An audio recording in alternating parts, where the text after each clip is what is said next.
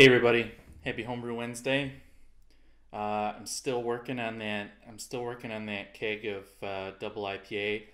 I cannot, I cannot get it to kick. Uh, I, I really need it to kick, but I, I just, I can't. It's like, it's the, I'd say it's the gift that keeps on giving, but uh, I actually don't really like the beer anymore. So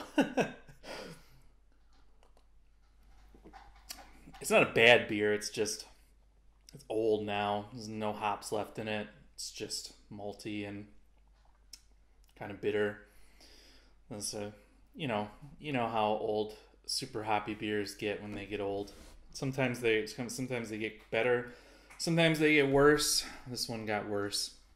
So uh, yeah, just working away on that. Uh, I totally planned to film this at the uh, at the brew house because I've got some brew chores to do but um, you know, uh, I ordered some yeast for a brew day that's been in the works forever.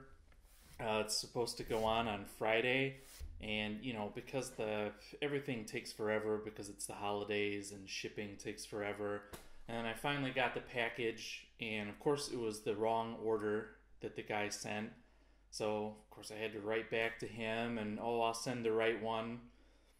And uh, yeah, so now I'm sitting around my house waiting for yeast because I I absolutely hoping to get it today. And I, I don't know in Denmark the post office works that if uh, you know if you're not there to answer the door, then they send it to the central post office and you gotta friggin' go down there and pick it up and that's a nightmare during this time of year. It's like 300 people in line all because we only have one post office from huge city Stupid. Uh, anyway, enough bitching. Uh, so yeah, I gotta sit at home and wait for the, the postman. That's why I'm not at the brew house. Uh, you know what? I actually what I have to do is uh, I've got a, a, chocolate milk stout, and need to rack it to secondary, and I need to rack it onto these babies. This is um, this is 150 grams of cocoa nibs or cacao nibs if you're fancy. Uh, it's soaking in um, in vodka, which, geez, I put a ton of vodka in there. I put like 300 milliliters in there, and it's just like you can see a little bit of the soup in there, but really soaked up a lot. Uh, anyway, uh, I actually had a question for everybody out there if you've used these before, which I know probably quite a few of you have.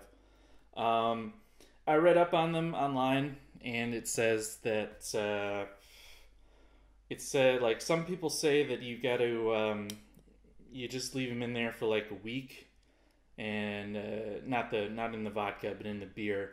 Like you leave it in there a week and you get a nice flavor. Some people say you can you should leave it in there longer or you know as long as you want you can leave it to pick up like maximum flavor. Some people say that you have to like add them on a full moon and say an ancient prayer to Count Chocula so I, I don't know what uh, best results that you've gotten from uh, Cocoa Nibs. Put them in the put them in the comments if you've got any advice. Uh, they're going in one way or another uh, tomorrow or Friday. Hopefully, I get that yeast because I, I want to make a starter. I try and I try and package my chores because a pain to go to the brew house on my bike. Uh, other than that, though, uh, I also have two beers down there that need to be that can start getting drunk. Speaking of which, get through. Got to make some space for them. Um, other news. I know that uh, this weekend, this uh, Saturday, uh, everybody is uh, doing the memorial uh, brew day for Paul Wicksteed.